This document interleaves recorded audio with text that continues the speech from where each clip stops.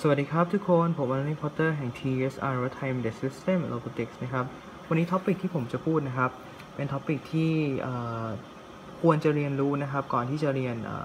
Arduino Course ออนไลน์กับผมนะครับ เป็น topic ที่เกี่ยวกับเรื่อง breadboard เลย อันนี้ topic แรกนะครับ เกี่ยวกับเรื่อง breadboard ผมเชื่อว่าเพื่อนๆหลายคนนะครับ ก็เคยเห็น แล้วก็จะมีอีกหลายๆ คนเช่นเดียวกันนะครับ ที่ไม่เคยเห็นนะครับ เจ้า breadboard นะครับ breadboard นะครับบางครั้งเราก็เรียก protoboard นะครับ มันก็จะมีหลายแบบเลยนะครับ อันนี้แบบเล็กนะครับ แบบยาวขึ้นมาหน่อยนะฮะยาวขึ้นมาหน่อย แล้วก็ แบบนี้นะฮะมาเป็นแผงเลยนะครับ แผงเยอะๆใหญ่ ๆ แล้วก็มีอุปกรณ์ต่อเต็มไปหมดนะครับหรือว่าจะแบบสีขาวแบบนี้นะครับ แบบนี้ก็มีอ่าแบบสีขาว มีหลายชนิดนะครับ แต่วิธีการใช้งานเนี่ยจะเหมือนกันนะครับโอเคเรามาดูวิธีการใช้งานกันนะครับ วิธีการใช้งานนะครับก็คือ breadboard เนี่ยต้องแบ่งออกเป็น 2 ส่วนก่อนนะครับ ส่วนแรกนะครับเป็นส่วนของ power supply นะครับ จะเห็นได้ว่ามันมีสีสีน้ำเงินนะครับ เขียนว่าเครื่องหมายลบนะครับ แล้วก็สีแดงนะครับ เครื่องหมายบวกนะครับ มันจะติดกันนะครับ แนวเนี้ย แนวนอนนะครับ ในแนวแกน x เนี่ยนะครับจะช็อตถึงการเชื่อมถึงกันนะครับ ของสีน้ำเงินนะครับขั้วลบ แล้วก็สีแดงก็เช่นเดียวกันนะครับ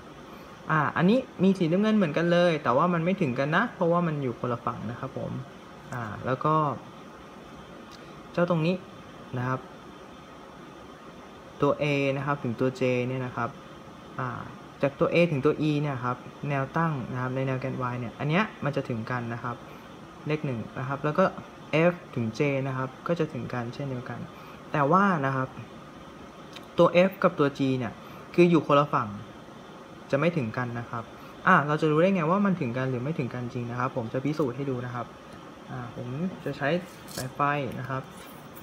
แบบนี้นะครับผม อ่า ช็อตให้ดู ตึ๊บ เอาเอาฝั่งเดียวกันก่อนนะ เอาฝั่งเดียวกันก่อนครับช็อตลงไปนะครับ แล้วอันนี้คือ มัลติมิเตอร์นะครับผมผมใช้มัลติมิเตอร์อันนี้นะ ปรับย่าน มีเสียงนะครับผมนะผมให้ดูก่อนถ้ามันช็อตกัน มันก็จะมีเสียงแบบเนี้ยอ่าโอเคไหมฮะทีนี้ เราก็จะเอามันมาช็อตกับเจ้าสายไฟนะครับอ่าแปลว่ามันช็อตกันใช่ไหม โอเค คือด้านนี้มันถึงกันนะครับ อ้าว แล้วด้านนี้ล่ะเลขหนึ่งเลขหนึ่งช็อตกับเลขสองไหมนะครับคำตอบก็คือไม่ อะผมพิสูจน์ให้ดูนะครับ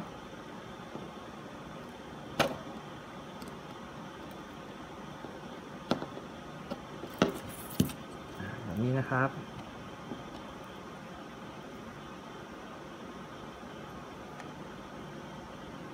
เห็นไหมครับ ไม่ไม่เกิดเสียงดังแปลว่าไม่ช็อตนะครับ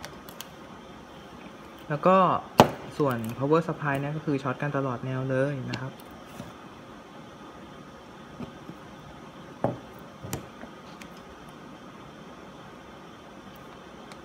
ติดติดติด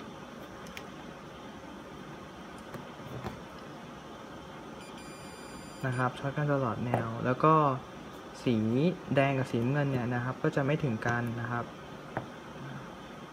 เห็นไหมครับ ไม่มีเสียง นะครับผม โอเค นี่ก็เป็นวิธีการใช้ breadboard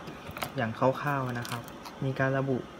ตัวอักษรนะครับ ว่า เอ๊เราจะเสียบช่องไหนหน้าหมายเลขอะไรนะครับ ในแนวแกนในแนวแกน x หมายเลขเท่าไหร่ ในแนวแกน y ตัวอักษรอะไรนะครับ แล้วก็ข้ามฝั่งกันไม่ถึงกันแบบนี้นะครับอ่ามันก็มีประโยชน์ในการเสียบ IC อะไรแบบนี้นะครับสำหรับเพื่อนๆที่ไม่เคยเล่นนะครับผม และนอกจากนั้นนะครับ นี่ผมให้ดูนี่มันมีด้านข้างเห็นไหมด้านข้างนะครับออของไอ้เจ้ายาวๆมันจะไม่ค่อยมีนะ มันจะมีแนวแบบนี้ด้านนี้อย่างเดียวนะครับ แต่ไอ้เจ้าตัวสั้นเนี่ยนี่มีทั้งหมดเลยนะครับ มีทั้งรอบด้านเลยนะหมายความว่ามันก็ต่อกันได้นะครับ ตัวผู้กับตัวเมียคู่กันนะครับ ต่อกันแล้วมันก็ขยายให้มันยาวได้ด้วยนะครับแบบนี้แบบยาวๆแบบนี้ก็ได้นะครับ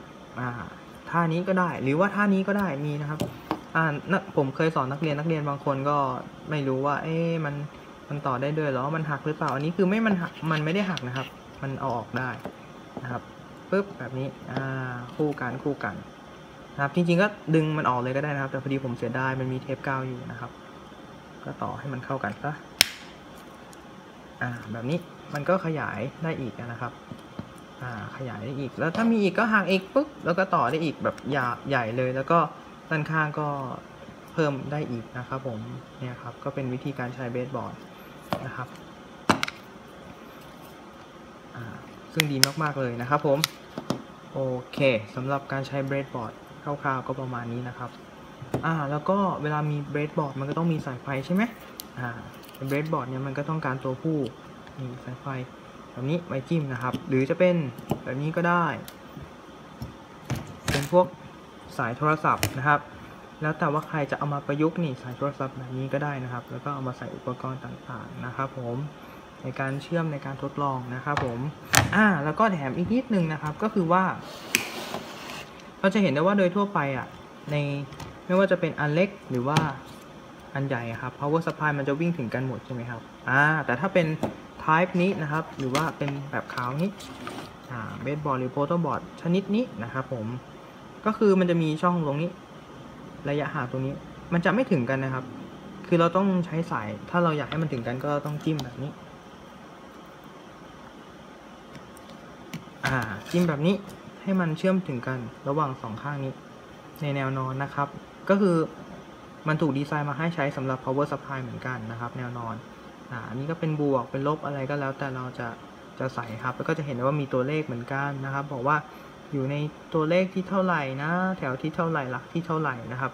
A B C เหมือนกันนะครับผมอ่าตรงนี้มันมีประโยชน์ตรงที่ว่าเราเอาไว้ระบุตำแหน่งได้นะครับ เวลาเราทำงานกลุ่มหรือว่าอะไรเงี้ย หรือว่าบางครั้งเนี่ยเราไม่มีอุปกรณ์ แต่เราจินตนาการได้ว่า เออออุปกรณ์นี้มันยาวเท่านี้ เท่านี้นี่นาเรา เราต่อสาย ไว้รออุปกรณ์มาต่อได้นะครับ คือ